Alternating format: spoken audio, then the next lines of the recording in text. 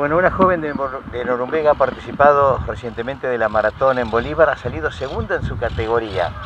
Tiene 20 años, entrena en el campo. Selina González, bueno, bienvenida. Contanos cómo es ese entrenamiento y cómo se te dio para, anotarte. Eh, hola, buenas tardes. Eh, bueno, entreno yo en el campo.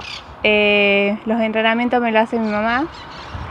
Y entreno a las mañanas y por las tardes a veces. Cuando es por la mañana entreno, eh, pienso entrenar a las 8 de la mañana y cuando es por las tardes eh, a las 3 de la tarde. Y los entrenamientos son variados, diferentes kilómetros. ¿Y, ella cómo te los va regulando? ¿Por, por, eh, por, partes del campo? ¿Cómo lo van haciendo esa regulación? por kilómetros me lo van haciendo.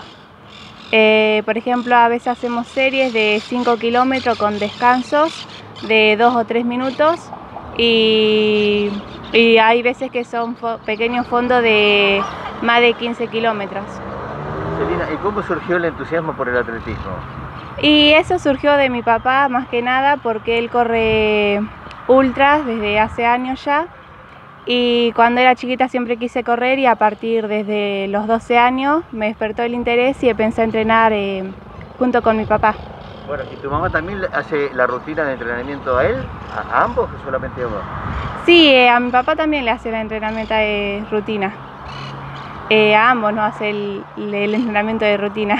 Esta es tu competencia más importante, haber salido segunda en tu categoría en, eh, en Bolívar recientemente. Sí, es la competencia de más kilómetros que realicé. Eh, la última que había realizado de tantos kilómetros era la de 21 acá 9 de julio.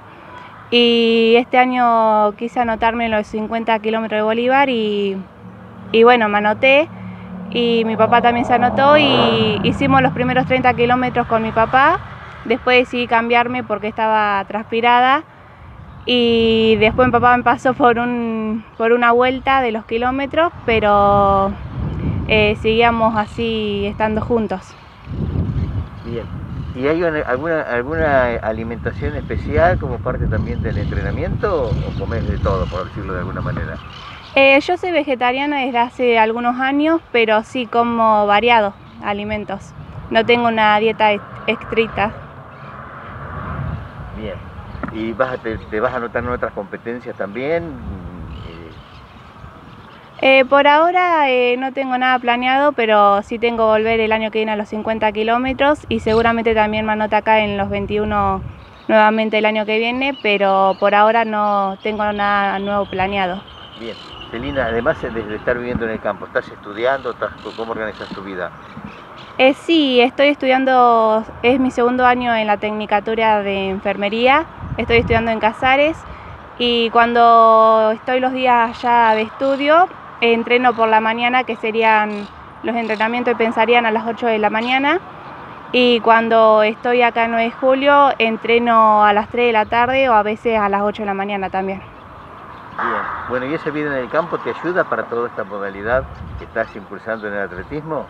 Eh, sí, me ayuda bastante porque mm, al correr en el campo corro, corro mucho en tierra y cuando llueve también salimos a entrenar y nos ayuda con, con los músculos de los pies y al correr después, por ejemplo, en las ciudades, que corremos en cemento, eh, no es mucho más fácil para nosotros.